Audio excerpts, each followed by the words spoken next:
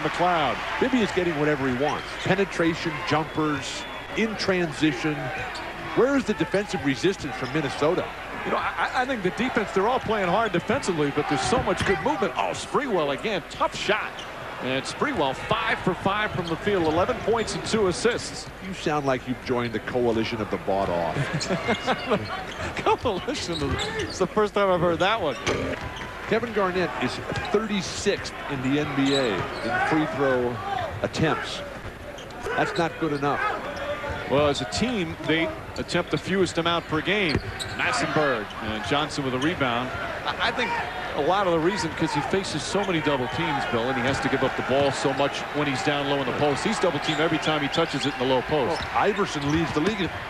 You think he's not double teamed? no. what about Shaq? Garnett, 13 what about Karl 7. Malone? These guys are double teamed all the time. Get to the hoop, draw some contact, please. Clock, everybody stopped unwilling to pursue that ball until the whistle was blown dead. Peeler's going to have to play an important role for this team as they've lost some key bench players from last year. Cassell now with eight points. Peeler's going to have a big game.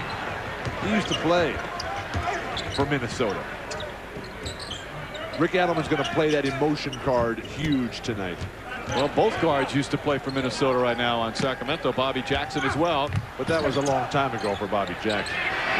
Jackson hits the three. Bobby Jackson high to rip it down. Jackson second in the NBA in scoring for players who come off the bench behind Antawn Jamison. Songaila. What a player. Best way what to find. Best, it's so much fun to watch teams that can pass the ball. You're one of the terrific big men who could pass the ball throughout your career. You must love this. What are the ESPN rules on facial hair? Can we concentrate on the game? Wanted a call. Hoiberg throws the pass. Songaila knocks it away, but Hoiberg takes it right back. And a ball knocked out of bounds. How can you say unbelievable comeback? Who hasn't beaten the Celtics of late? Not being down by 26 at halftime. Now you're talking Nick territory here. Cole to start this third period. Nice. Sprewell. Beautiful move, but couldn't finish. That's the easiest shot he's had this season, maybe in his entire career. Foul. And Vlade Divac. The foul goes against Kevin Garnett. And that's his second. Are you a good bowler? No. I'm surprised at that. Why would you be surprised? Kind of look like a bowler. Are you talking about my wardrobe? I have a lot of bowling shirts that I wear outside.